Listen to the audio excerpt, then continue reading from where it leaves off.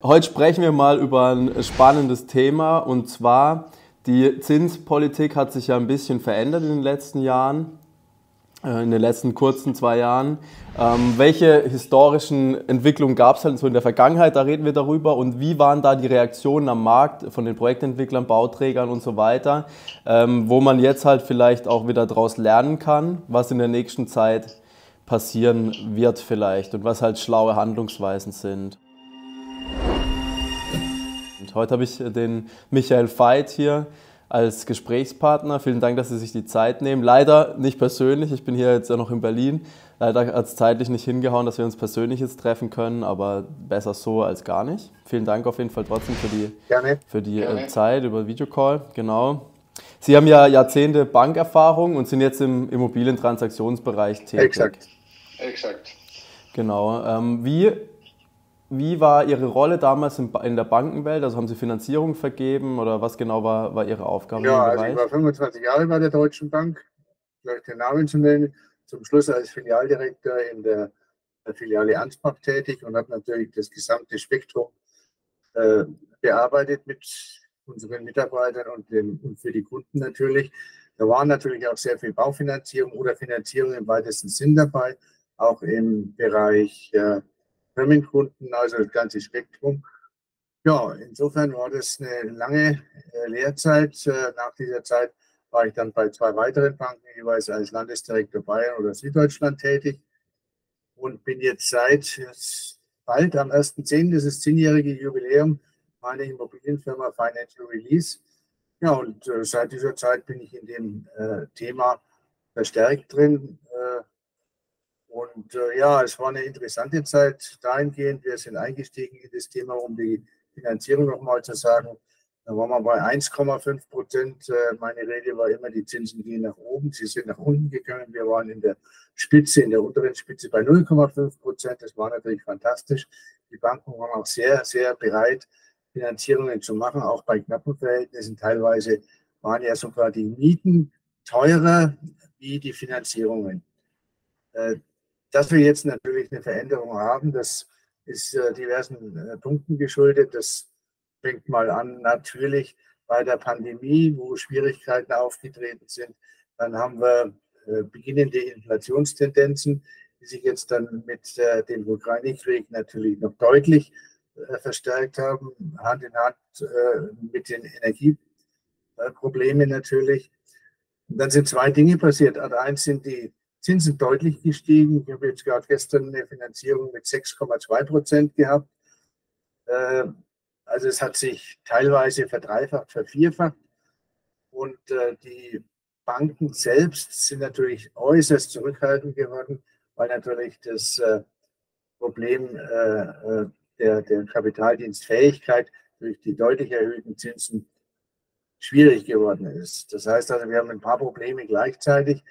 Das, was möglicherweise auf uns zukommen wird, ist die Geschichte, dass viele äh, Endverbraucher, Häuslebauer, Wohnungskäufer im eigenen Bereich teilweise falsch oder nicht richtig finanziert worden sind mit zu kurzen Zinsfestschreibungen. Ja, und nach zehn Jahren, wenn einen dann die Problematik trifft, einer Vervierfachung der Annuität, da wird es sicherlich zu Schwierigkeiten geben. Auf der anderen Seite haben wir natürlich auch gleichzeitig, was die Projektierungen angeht, deutlich gestiegene Preise im Bereich äh, der Materialien, Holz, äh, Stahl und dergleichen erleben müssen, das dazu geführt hat, dass wir teilweise Projekte sind abgesagt worden, auch von sehr, sehr großen Bauträgern. Jetzt gerade die nächst, in den letzten Tagen ist ja in Nürnberger im fränkischen Bereich die Firma Projekt mit drei ihrer Firmen, mit drei großen Projekten in Nürnberg in Insolvenz gegangen. Ich hoffe, das lässt sich noch auf, äh, fangen, weil da auch sehr viele äh, äh, Privatleute betroffen sind, die nach der sogenannten MAWV, also Makler- und Bauträgerverordnung, teilweise die Hälfte schon angezahlt haben. Wie das jetzt weitergeht, weiß ich nicht. ja, dass sowas passiert, ist natürlich für den Markt schlecht. Wir haben nämlich auf der einen Seite die äh, Geschichte, dass im äh, Privatwohnungsbau auch die Preise stagnieren, aber nicht nach unten gegangen sind. Also die Preise sind gehalten worden. Die Mieten sind auch leicht gestiegen. Wie das sich weiterentwickelt, kann man schlecht sagen. Wir sind in der Hauptsache ja im äh, Bereich der größeren Großimmobilien dabei, seien es Hotels, Wohnanlagen, äh, Portfolien, äh, auch äh, im Bereich jetzt, Sie haben es vorhin mal angedeutet, äh, NVZ, also Nahversorgungszentren, Drogerien, Foodmarkt und so weiter. Die Nachfrage ist ungebrochen, wobei diese Branche gerade, um vielleicht die Schwarzgruppe zu nennen, Edeka, Netto und wie sie alle heißen, haben natürlich aufgrund der Problematik in der, äh, im Bereich äh, der, der Verkäufe in ihren Märkten deutlich zugelegt, haben gutes Geld verdient und äh, das spürt auch jeder Verbraucher in seinem Geldbeutel. Das heißt teilweise, was hat meine Frau letztens gesagt, die Gurken haben sich verdreifacht. Bloß als kleiner Beispiel. Das sind natürlich nur, nur kleinere äh, Problematiken, aber insgesamt haben wir eine Problematik, dass zwar auch die äh, Kunden weiter essen, trinken und dergleichen leben wollen, aber das Geld nicht mehr da ist aus den genannten Gründen bisher. Wie, wie das weitergeht, ich kann es Ihnen nicht sagen. Wir haben eine Börse, die hatte dieses Jahr All-Time-High, im DAX zumindest. Äh, Dollar, Euro hat sich auch eigentlich ganz vernünftig gehalten. Auf der anderen Seite äh, haben wir den Ukraine-Krieg, der natürlich vieles aufbaut. Gut, man spricht inzwischen von hervorragenden Möglichkeiten im Wiederaufbau der Ukraine. Aber erstmal muss der Krieg beendet sein.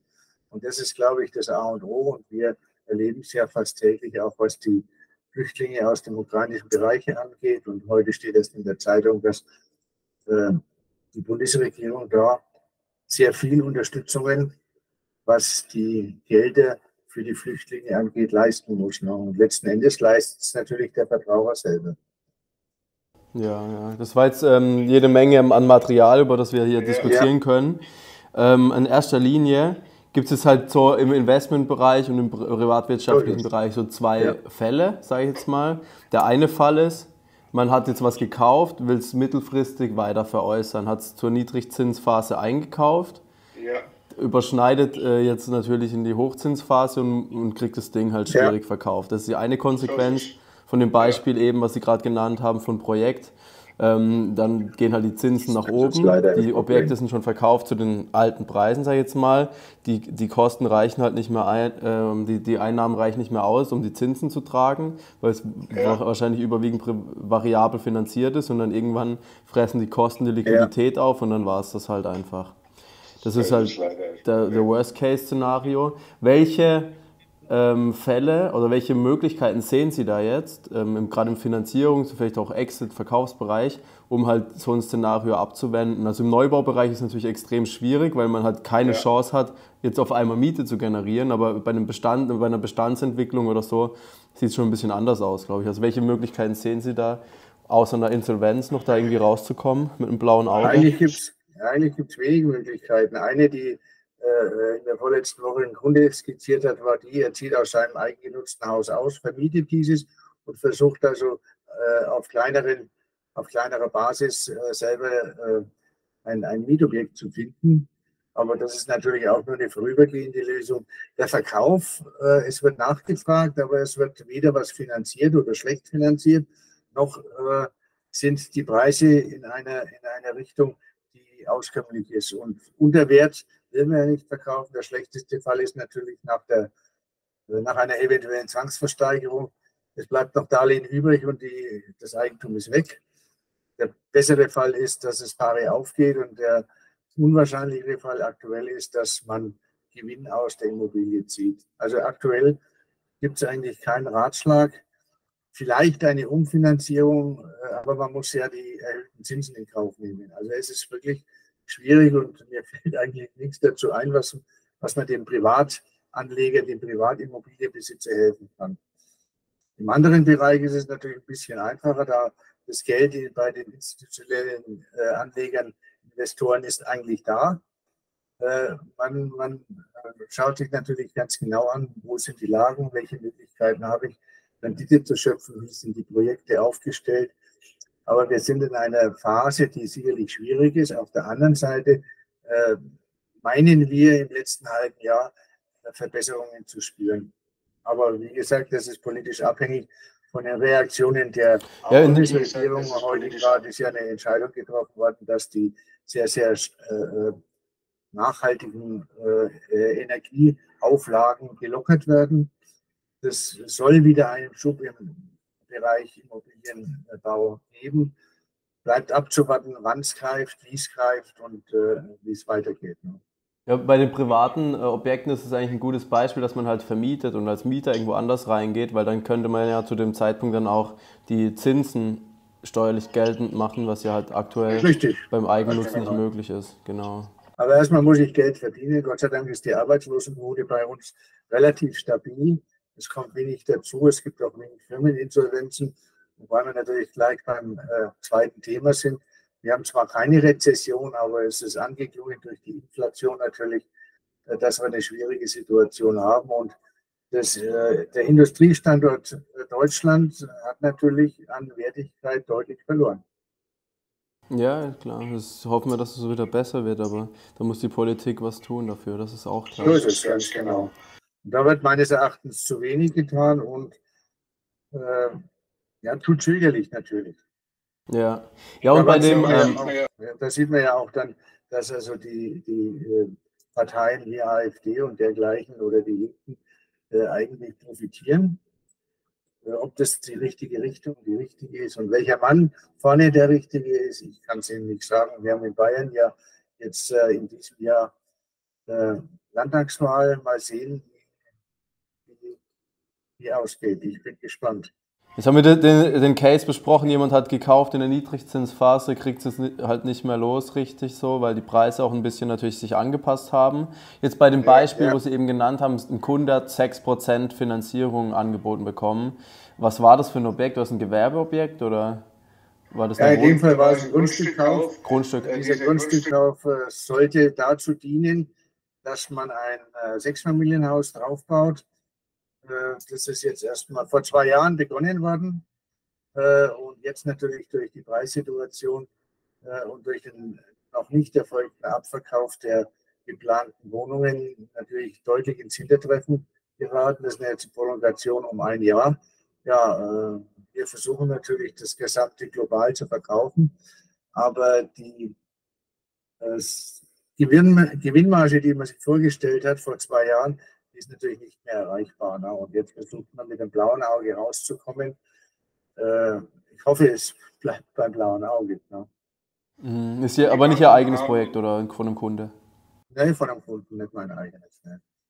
Äh, ich habe es äh, vorhin vor unserem Gespräch mit dem Banker gesprochen und habe schon mein Befremden darüber ausgedrückt, dass man mit 6,22 Prozent auf ein Jahr eine, eine Situation äh, schafft, die bei einer hervorragenden Sicherheitenstellung, muss man sagen, also das, das Objekt ist, äh, wenn überhaupt, 50 Prozent beliehen.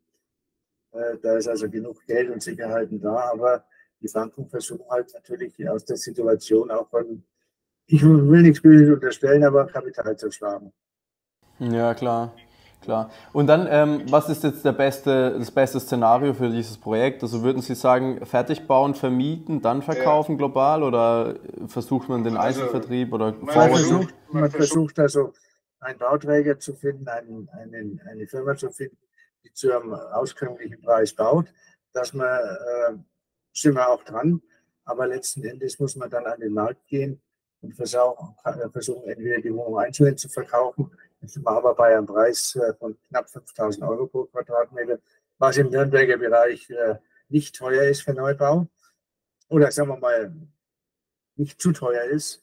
Es wird auch mit 7000 Euro aktuell gehandelt. Natürlich ist dann äh, die Ausstattung ganz hervorragend.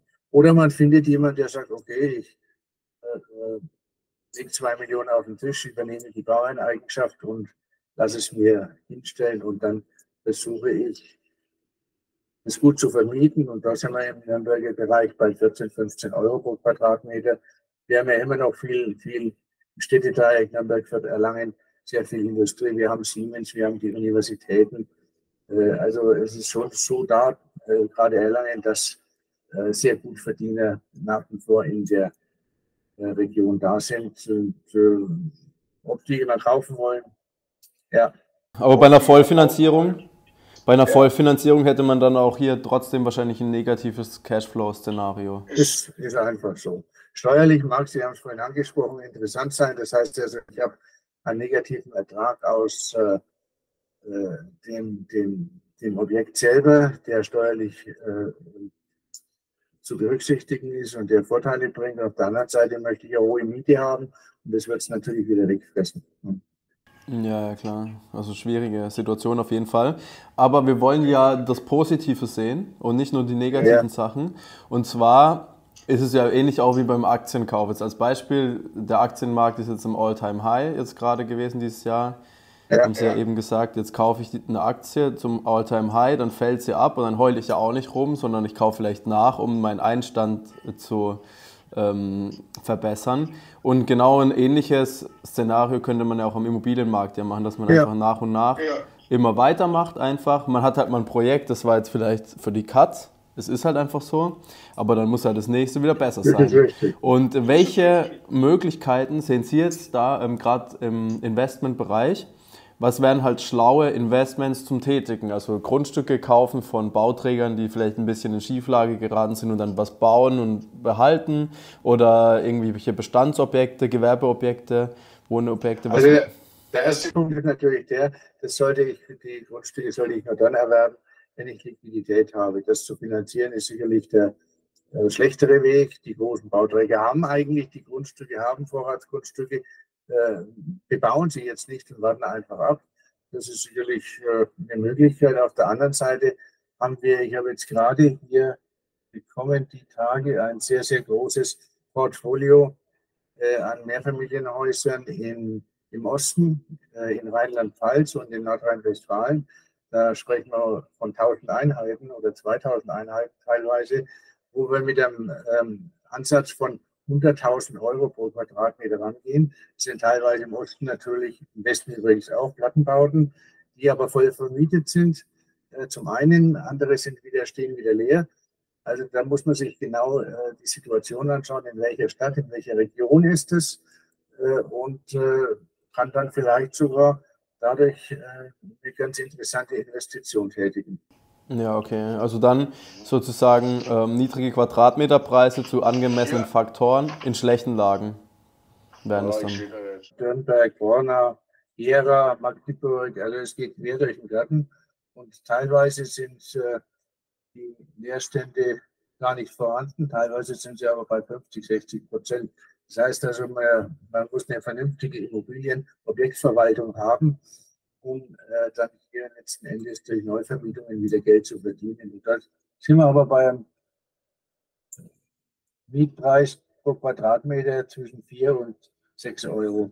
Das ist natürlich der Osten im Land, im Rheinland-Pfalz ist es ein bisschen besser, aber äh, man weiß ja auch in Nordrhein-Westfalen, dass es da schwierig ist, was äh, Arbeitslosigkeit und dergleichen angeht. Ne? Also man kann sich nicht mal rein, reich rechnen, kann man sich nicht mehr, aber man kann letzten Endes ein schönes Portfolio aufbauen. Immer vorausgesetzt, dass die Finanzierung nicht deutlich über 50 äh, Prozent ist.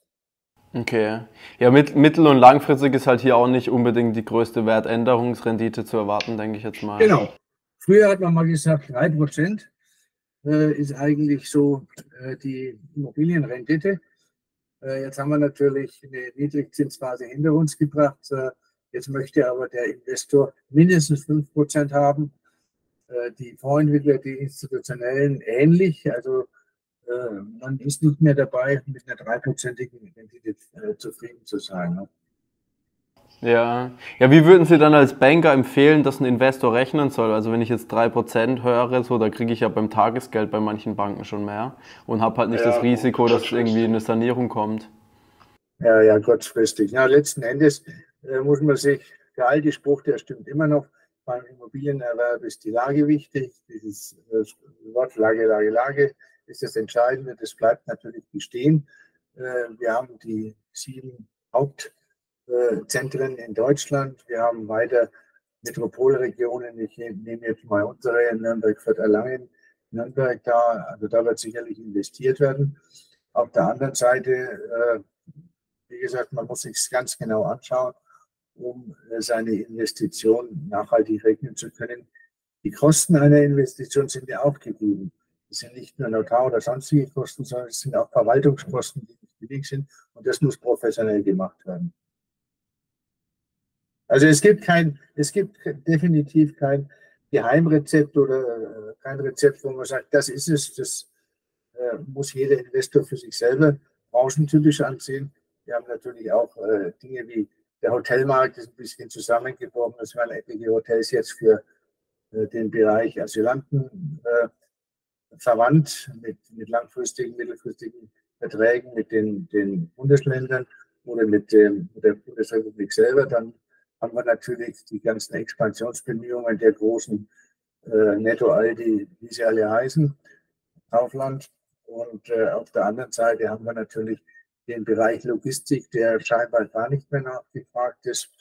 Also es gibt meines Erachtens kein, keine äh, Branche oder kein Bereich, der außerordentlich gut ist. Ne? Man muss es wirklich finden und suchen. Und äh, das Ausland ist nach wie vor bereit, in Deutschland zu investieren. Das darf man natürlich auch nicht vergessen. Ne? Ja, jetzt haben wir mal über den Tellerrand hinausgeschaut ins Ausland. Die sind bereit, in Deutschland zu investieren. In Deutschland mittelfristig zu investieren, braucht man viel Eigenkapital. Wenn wir jetzt mal ja. über, auf der anderen Seite über den Tellerrand hinausschauen, ähm, also wenn man jetzt Geld investieren will, würden Sie sagen, macht es vielleicht auch Sinn, sich Branchen, also in einer anderen Branche umzuschauen und vielleicht die Finger komplett weg von der Immobilienbranche zu lassen? Weil wir haben hier auch einige ähm, Kunden, mit denen wir regelmäßig sprechen, die jetzt gesagt haben, wir, wir wollen unsere Immobilienbestände liquidieren, um in andere Assets zu gehen komplett, weil wir sehen keine grünen Vorzeichen mehr. Das ist äh, die eine Geschichte, deshalb Objekte zu verkaufen, äh, um dann wieder in Objekte zu investieren, äh, das muss man sich schon sehr genau anschauen. Auf der anderen Seite, wo will man investieren? Man kann natürlich äh, zu einem gewissen Satz, äh, Prozentsatz in äh, den Börsen, in Fonds, die oftmals sehr, sehr gut gemanagt sind, investieren. Aber äh, letzten Endes ist es, äh, die alte Regel gilt immer noch, dass man diversifizieren muss. Einen gewissen Teil des Vermögens in Investments, ob das jetzt Fonds oder Aktien direkt sind, bei Aktien ist es natürlich schwierig, da muss man sehr nahe am Ball sein und die Fondsmanager können das ganz gut. In Währungen zu investieren, das halte ich für äh, zumindest sehr problematisch und alle anderen Anlageformen, äh, wie sie es früher mal gegeben hat, äh, Schweinehälften und was weiß ich alles, das, äh, davon raten wir grundsätzlich ab. Äh, neuerdings ist natürlich der Bereich äh, Bitcoin und Nachfolger sehr stark im Kommen, aber ja, Meins ist es nicht. Sehr volatil äh, halt auch. Ja, ist erstens sehr, sehr volatil. Auf der anderen Seite ist es durch nichts gedeckt. Also da, da ist keine Basis dahinter. Das ist meines Erachtens ein Spekulationsobjekt. Ob das mal auch die Weltwährung wird, das wage ich zu bezweifeln. Wie und wie schätzen Sie, also jetzt investmentseitig haben wir eigentlich ähm, alles besprochen, da gibt es keinen heiligen Gral, man muss halt einfach wissen, worauf man sich einlässt, die Verhältnisse EK, Fremdkapital müssen passen. Äh, wie schätzen Sie jetzt ähm, die Ertragsmöglichkeiten als Makler ein in den nächsten drei bis fünf Jahren? Ähm, es gibt ja hier Konzer auf Konzernebene gibt es auf jeden Fall Ausdüngungen, dann gibt es halt so ähm, kleinere Spezialisten, sage ich jetzt mal, wo man aber halt dann durch eine sehr qualitativ hochwertige Betreuung dann doch den einen oder anderen Deal zum Notar noch bringen kann. So, wie schätzen Sie da die Ertragsmöglichkeiten ein im Vergleich zu den letzten Jahren und vielleicht auch zu den Jahren vor der Niedrigzinsphase, bevor halt die Zinsen so niedrig gegangen sind? Also ich bin der Überzeugung, dass der Finanzdienstleister Leister, äh, all der Prägung in der Form nicht mehr existent sein wird. Es gibt äh, da etliche Pools auch, mit denen man zusammenarbeiten kann, aber gerade der Versicherungsmakler ist sicherlich äh, hat einen schwierigen Job bekommen, äh, weil sehr viel online gemacht wird. Auf der anderen Seite bin ich der Überzeugung, dass eine gute Versicherung nur über einen vernünftigen, gut aufgestellten Makler äh, äh dargestellt werden kann. Ob der jetzt auch in dem Bereich äh, Wertpapiere, also Fonds und dergleichen tätig ist, kann ich äh, nur, nur befürworten. Das heißt also, da gibt es einige, die sehr, sehr gut sind, wobei sich der Markt insgesamt deutlich reduziert hat.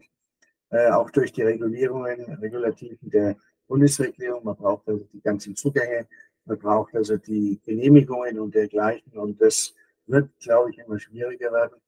Auch die Kontrollen durch die BaFin, durch dergleichen auch. Äh, das, und die Immobilienvermittlung, wie sieht es da aus? Also, ähm, äh, in dem Bereich, da meine ich, äh, hat sich auch ein bisschen reduziert. Das äh, Immobiliengeschäft besteht in der Hauptsache aus Netzwerken. Das heißt, man kennt sehr viele Leute, man ist selber bekannt, man hat eine vernünftige äh, Angebotspalette, man hat eine gute Homepage, wo sich auch der, äh, Investor, der Interessent wiederfindet. Äh, gehört Vertrauen zu dem Geschäft dazu. Und wie ich gerade schon eingangs gesagt habe, das ist eigentlich ein Netzwerkgeschäft. Man muss im Gespräch bleiben.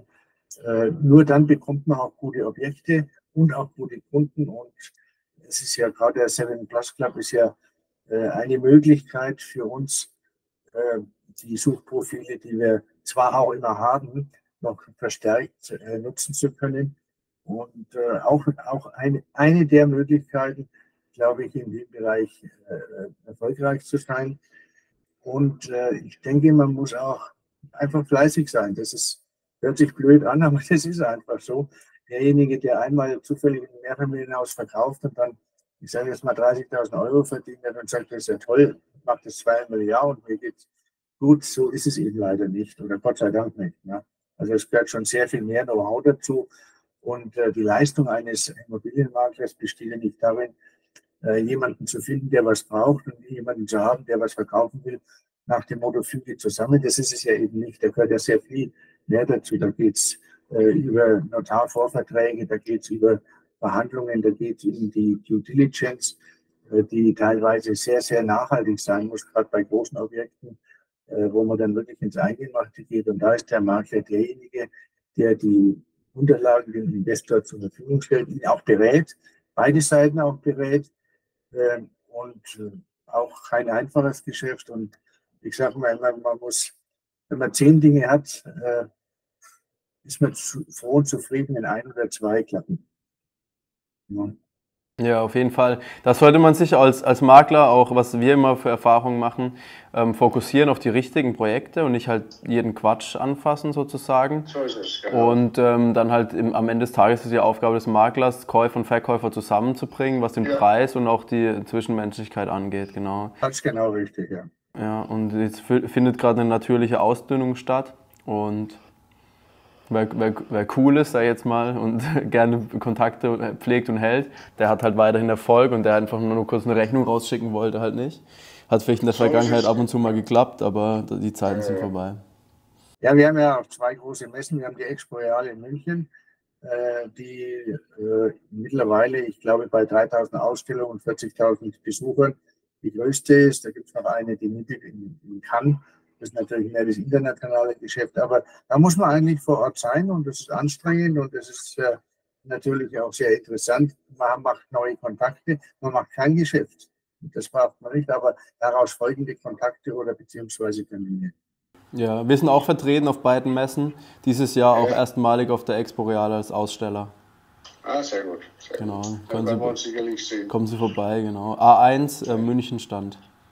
Ah, okay, München stand. Ja, dann war ich direkt vor dem Nürnberger Stand. Ja. Genau, dann sehen wir uns dort. Ja. Sind Sie dann, ja. dann, äh, sind, dann kann ich Sie dort zum Kaffee einladen, wenn wir jetzt heute schon leider okay. nicht können. Persönlich dann. Ja, da, da werden wir sicherlich einen Weg finden. Genau. Nee, das ist schon spannend so. Und auch, äh, wie Sie richtig erkannt haben, das Kontakten, das Netzwerken, das mit, mit anderen Leuten sprechen, sich Know-how selber, man lernt ja bei jedem Gespräch eigentlich dazu irgendwie, weil jeder ein bisschen anders vorgeht. Das ist, glaube ich, wird immer das Wichtigste bleiben. Und das Untergeschäft ist Gott sei Dank kein Zufallsgeschäft, sondern es ist geplant, planbares Geschäft. Ja, Herr Veit, danke Ihnen für Ihre Zeit. Ich denke, wir haben jetzt hier den Rahmen ganz gut abgesteckt, jo.